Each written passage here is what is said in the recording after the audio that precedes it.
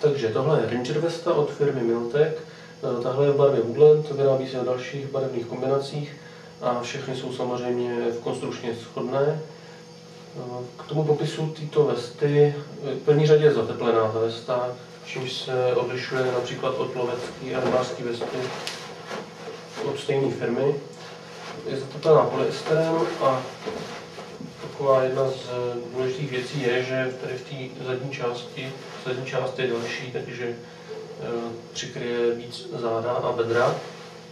No a dál už je, je to jednoduchá vesta celkem, má ale dostatečně velké kapsy, čtyři, které jsou dál, dále rozčleněné, jsou zapínané na suchý zip, jsou relativně velký, jedna, dva, suchý zip, další na suchý zip, je relativně velká kapsa, když se podíváte z boku, je to vidět líp. Tady ta levá horní kapsa je vevnitř uh, rozčleněná takovou přepážkou. Pak je tady malá kapsička na suchý zip, která se udává jakože na kompas. Uvnitř už je jenom jedna kapsa na zip, náprsní.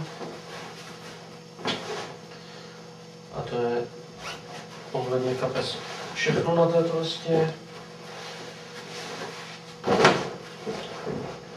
Je možné si tu vestu upravit eh, v pase, tady pomocí tohohle poutka. Zapnout si to na ten další knoflík a tím pádem bude ušita vesta.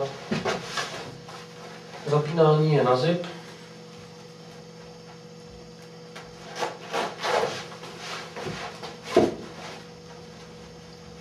Ten zip eh, je možný zakrýt klopou, tady jsou nasazený patentní knoflíky. A to se to zacvakne. Testa má límec.